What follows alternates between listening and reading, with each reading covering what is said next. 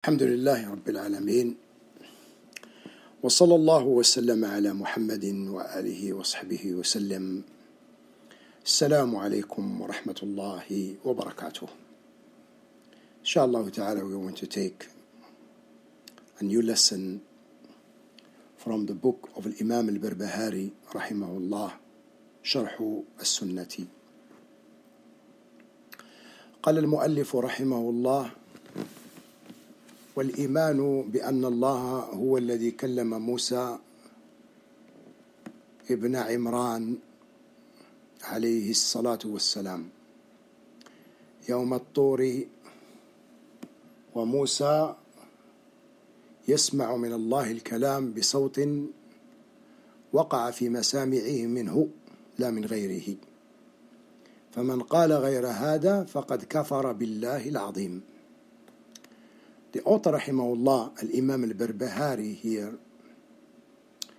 he is talking about one of the attributes of Allah subhanahu wa ta'ala, which is al-kalam, speech. Ahlul Sunnah wal Jama'ah, they affirm speech to Allah subhanahu wa ta'ala. That Allah speaks in a way that befits His majesty. So, the author, rahimahullah ta'ala, he said, and to believe that Allah Himself is the one that spoke to Musa ibn Imran, peace be upon him. Yawm al-Tur, on the Tur mountain. And Musa is the one that heard the speech of Allah subhanahu wa ta'ala with a sound through his ear. It did not come from other than Allah. So whoever is saying that this came from other than Allah, then this person has disbelieved.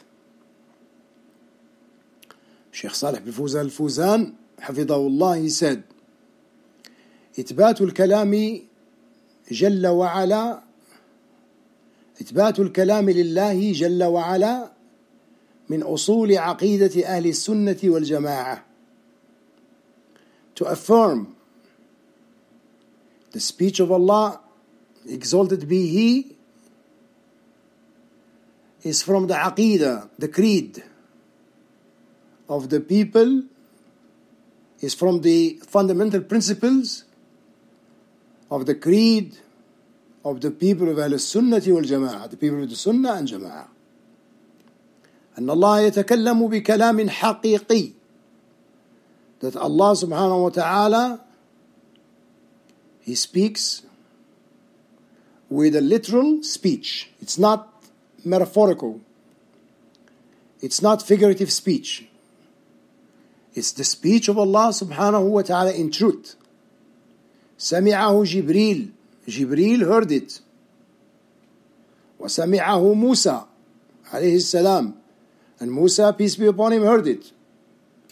لما ذهب إلى النار ليأتي منها بقبس ووجد أن الله يكلمه يكلمه في من الشجرة when he went to get some of the fire because it was cold so he went to get some of the fire and then he found Allah subhanahu wa ta'ala speaking to him from the tree from the tree كما ذكر الله ذلك في القرآن وسمع موسى كلامه He said as Allah subhanahu wa ta'ala mentioned that in the Quran and Allah subhanahu wa ta'ala he heard and Musa alayhi salatu wasalam he heard the speech of Allah subhanahu wa ta'ala Allah subhanahu wa ta'ala says وكلم الله موسى تكليما And Allah subhanahu wa ta'ala spoke to Musa alayhi salam. And also he said, وَلَمَّا جَاءَ مُوسَى لِمِيقَاتِنَا وَكَلَّمَهُ رَبُّهُ And here also Allah subhanahu wa ta'ala, he mentioned, when Musa came, when the appointed term, at the, when the appointed term was due, he came. And Allah spoke to him. His Lord spoke to him. هذه مرة ثانية لما وعده الله أن يعطيه التوراة. And this is the second time Allah spoke to him when Allah promised to grant him التوراة. ذهب موسى للموعد كلمه ربه وأعطاه ألواح التوراة مكتوبة. So Musa عليه الصلاة والسلام he went at the appointed time. he went at the appointed time then his Lord subhanahu wa ta'ala he spoke to him and he gave him alwah tablets written tablets with the Torah in them فسمع موسى كلام الله جل وعلا So Musa alayhi salam, he heard the speech of Allah, exalted be He.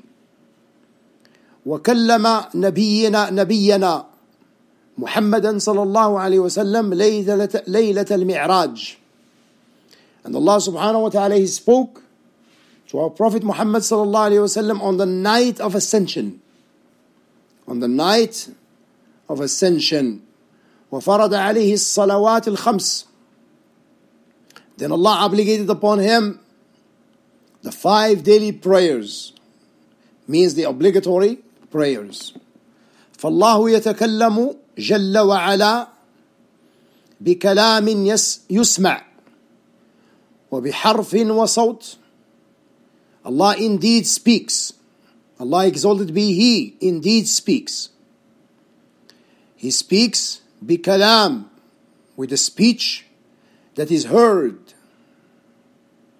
and with letters and sound أما الجهمية والمعتزلة فيقولون الله لا يتكلم As for الجهمية and المعتزلة They say Allah does not speak لأن لو أثبتنا له الكلام شبهناه بالمخلوقين So they claim that if they were to affirm the speech that Allah speaks then Allah will be likened to His creation لأن المخلوق يتكلم because the creature speaks what Allah created speaks human being وهل يقاس كلام الله بكلام المخلوق the Shaykh said can we compare the speech of Allah with the speech of those who are created? No, of course no. هناك فرق بين كلام كلام الله وكلام المخلوق. There is a difference between the speech of Allah and the speech of those who are created. فهم لا يفرقون بين الله وبين المخلوق والعياذ بالله. So this individual, الجهمية والمعتزلة, they don't differentiate between the creator Allah and the creation والعياذ بالله we seek refuge in Allah from that نتيجة لتبلد أفهامهم وعقولهم and this is the result of how dumb their understanding their intellect is their rationale they're very dumb فالله جل وعلا يتكلم حقيقة بكلام يسمع So Allah exalted be He. He speaks in reality, not metaphorically. He speaks subhanahu wa ta'ala in literal speech. Literal speech, not meta- metaphorical. والقرآن من كلام الله and the Quran is from the speech of Allah subhanahu wa ta'ala. تكلم الله به. Allah, He spoke with the Quran.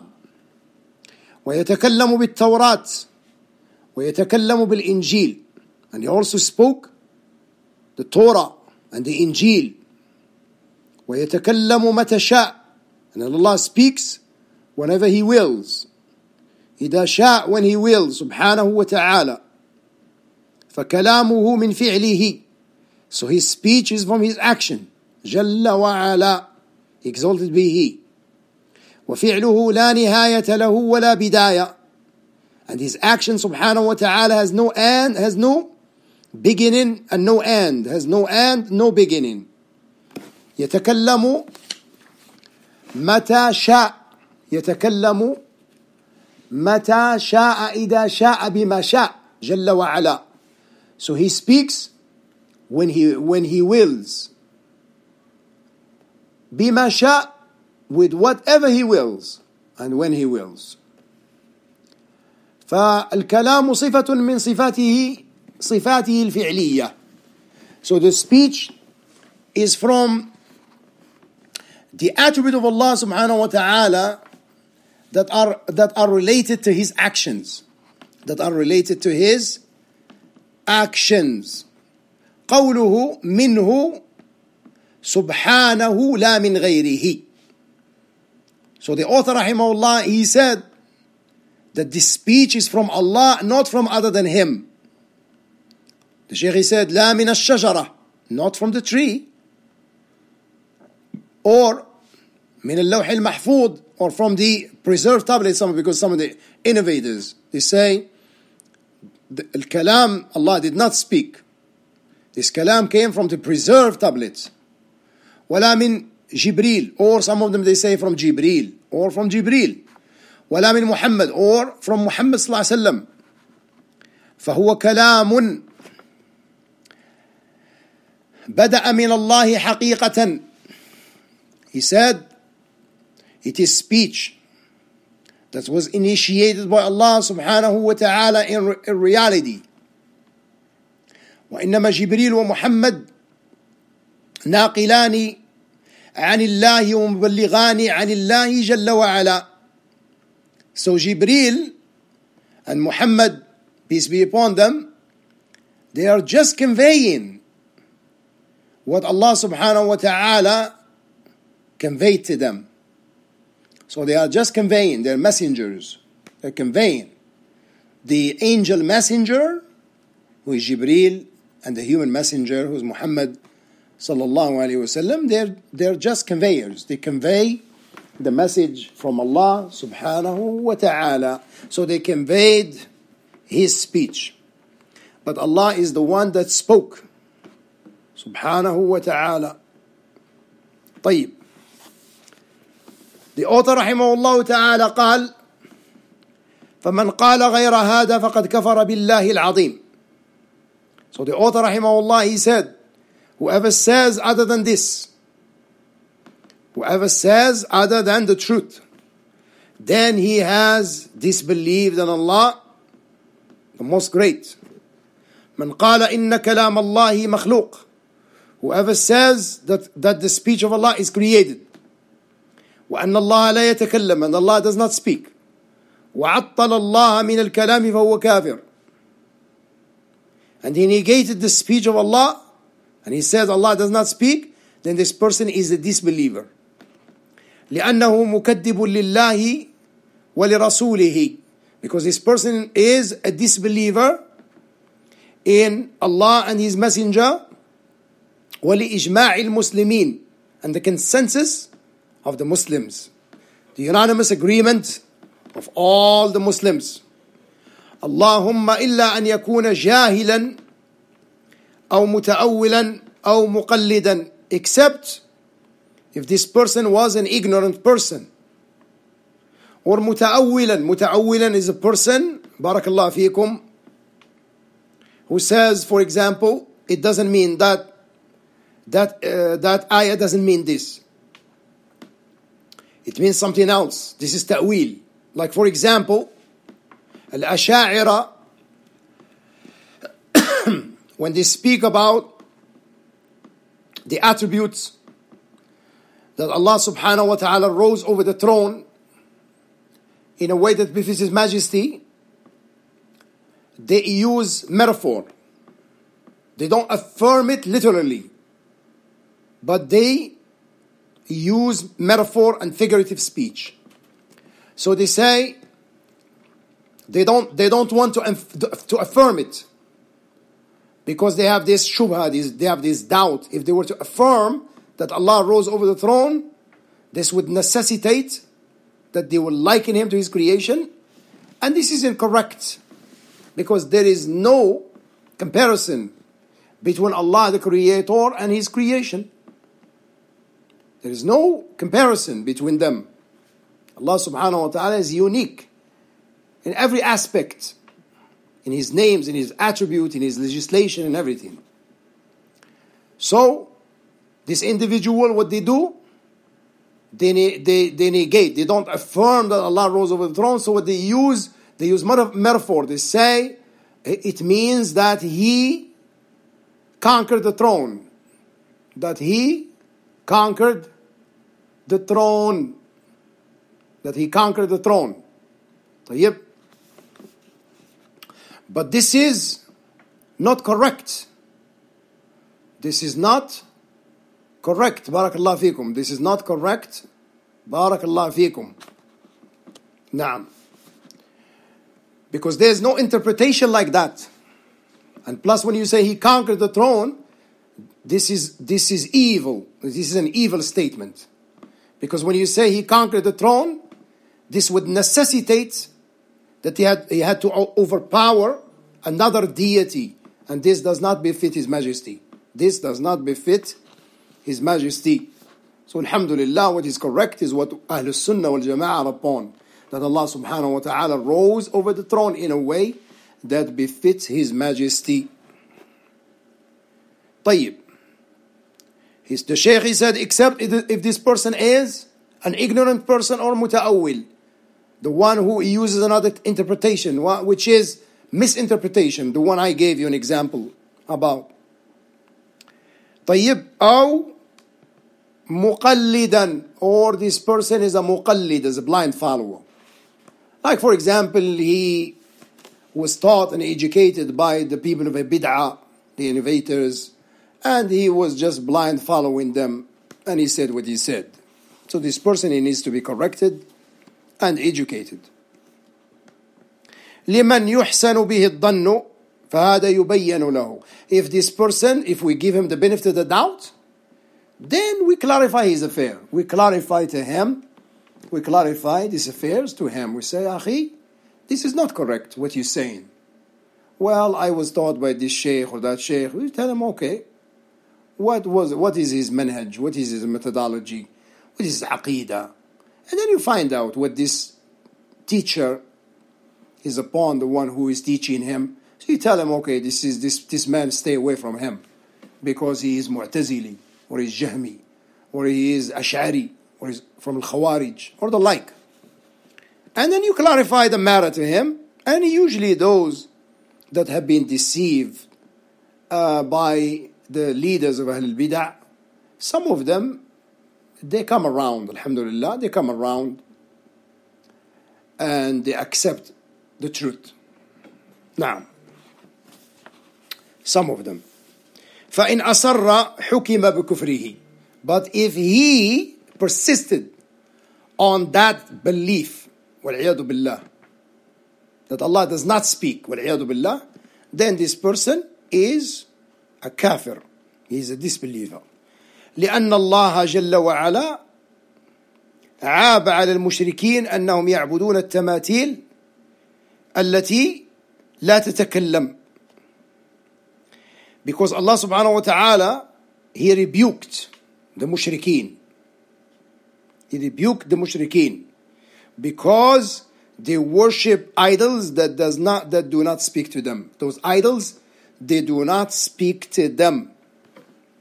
So if they don't speak to them, this is a big deficiency. This is a big deficiency. بارك الله فيكم قال إبراهيم عليه السلام يا أبت لم تعبد ما لا يسمع ولا يبصر ولا يغني عنك شيئا So Ibrahim alayhi salam, he told his dad, Oh dad, oh father, why is it that you worship the one who cannot hear you, nor can he see you? And he will not avail you. He will not avail you. وقال للكفار الذين يعبدون الاصنام فاسالوهم ان كانوا ينطقون So Allah subhanahu wa ta'ala, He said about Ibrahim alayhi salatu wasalam, when he addressed those disbelievers and mushrikeen who were worshipping idols, he said, Ask them, ask these idols, see if they can speak to you. If they can speak to you, because if they cannot speak, this is a big deficiency. This is deficiency because Allah speaks subhanahu wa ta'ala. والله جل وعلا يقول في بني إسرائيل واتخذ قوم موسى من بعده من حليهم عجلا جسدا له خوار ألا يروا أنه لا يكلمهم So here Allah subhanahu wa ta'ala he rebuked the children of Israel when they worshipped the golden calf. And he says to them towards the, the end of the ayah, don't they see that he does not, he cannot speak to them. He cannot speak to them. So if he cannot speak to them, he does not deserve to be worshipped. He does not deserve to be worshipped because it's a, for, it's a false deity. And speech is, kala, is kamal, perfection. نعم فدل على أن الرب يتكلم سبحانه وتعالى This signifies and indicates that Allah the Lord speaks سبحانه وتعالى وأن الذي لا يتكلم ليس ربا and the one who does not speak he is not a Lord كيف يأمر وكيف ينهى how can he command he does not speak how can he prohibit وكيف يدبر how does he how does he govern وهو لا يتكلم and he does not speak تعالى الله عن عن ذلك far exalted Allah from that وفي سورة طه ألا يرجع ألا يرجع إليهم قولا ولا يملك لهم ضرا ولا نفعا So Allah subhanahu wa ta'ala in Surah Taha he mentioned that he does not speak to them or address them or talk to them or anything like that Subhanallah We ask Allah subhanahu wa ta'ala to grant us all العلم النافع والعمل الصالح الحمد لله رب العالمين وصلى الله وسلم على محمد وآله وصحبه وسلم والسلام عليكم ورحمة الله وبركاته.